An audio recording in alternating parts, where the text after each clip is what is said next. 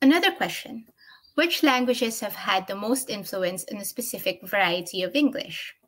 Again, using advanced search, this time selecting Caribbean English.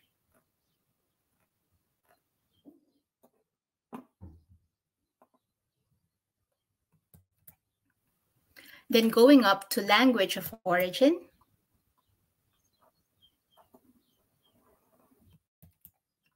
We see that Caribbean vocabulary mostly comprises words of English origin and loaned words from European languages such as Spanish and French, but also includes words that have been borrowed from African languages, Indian languages, and indigenous languages of the Americas, as well as from Caribbean Creoles.